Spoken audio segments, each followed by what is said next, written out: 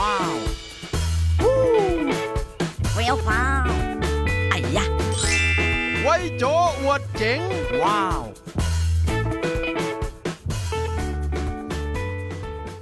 สวัสดีครับไวยโจอวดเจ๋งกับผมอิสรพงษ์เตชะแก้วนี่นี่คุณผู้ชมฮะหนังตะลุงไม่ได้มีแค่ภาคใต้นะครับภาคอีสานก็มีหนังตะลุงเช่นกัน หรือเรียกอีกชื่อนะครับว่าหนังประโมไทย ซึ่งก็เป็นการละเล่นนะครับ ผสมผสานระหว่างหมอลำและก็หนังตะลุง วันนี้ครับก็มีโชว์เจ๋งๆ จากคณะเพชรอีสานของโรงเรียนดงบางพิสัยนวการนุสรจังหวัดมหาสารคาม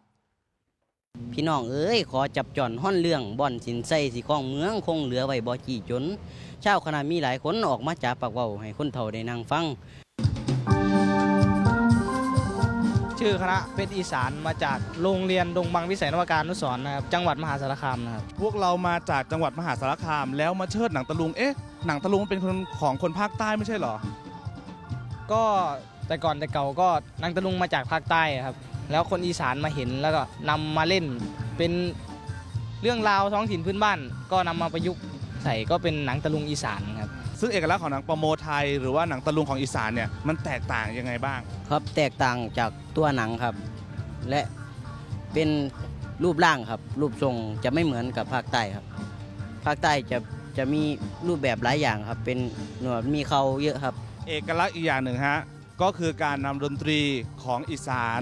รวมถึงเวลาแสดงก็ใช้ภาษาอีสานถูกต้องไหมครับเออยังไง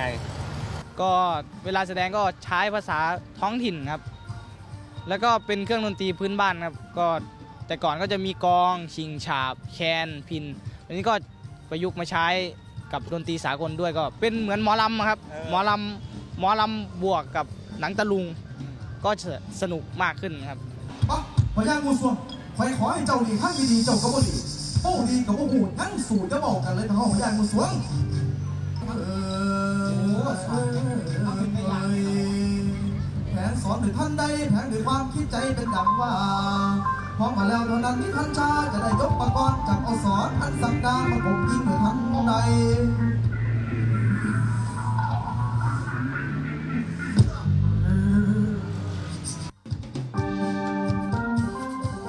แต่ละคนเนี่ยใครทำหน้าที่อะไรบ้างเล่าให้พี่ฟังคร่าวๆหน่อยสิครับ ผมก็เป็นผู้ภาคครับ ส่วนน้องๆครับเป็นผู้เชิดครับ และกีตาร์ครับก็เป็นผู้ภาคผมครับอะกีตาร์ตอนที่พวกเรามาเริ่มภาคเนี่ยตอนแรกๆมันยากไหมตอนแรกๆผมก็ไม่รู้เรื่องครับ ก็ต่อมาก็เริ่มรู้ครับได้เล่นหลายบทก็ได้รู้หลายบทครับ อย่างในวงของเราเนี่ยมันมีหน้าที่อะไรบ้างฮะ ก็ส่วนมากก็จะมีนักดนตรีครับอาจารย์ช่วยสอนดนตรีให้ด้วย แล้วก็รับบทด้วยครับ ทั้งเล่นทั้งท่องบททั้งโอ้หลายอย่างครับ แต่ละคนไม่ไม่มีว่างครับ ต้องช่วยกันตลอด การเชิดเป็นยังไงบ้าง การเชิดก็มีหลายแบบครับ ตัวตลกก็เชิดแบบฮีฮามีสนุกครับ ส่วนตัวพระเอกตัวนางนะครับ ก็เชิดเหมือนเออในวังครับเหมือนเอ่อให้ มันดูมีท่ามีทางหน่คอรับ ย มีท่ามีทางครับ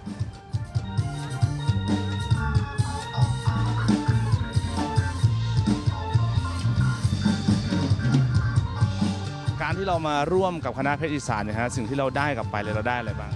ได้ความรู้และประสบการณ์ ยังไงได้มาเผยแผ่ดนตรีได้เล่นดนตรีได้สนุกสนานกับเพื่อนครับ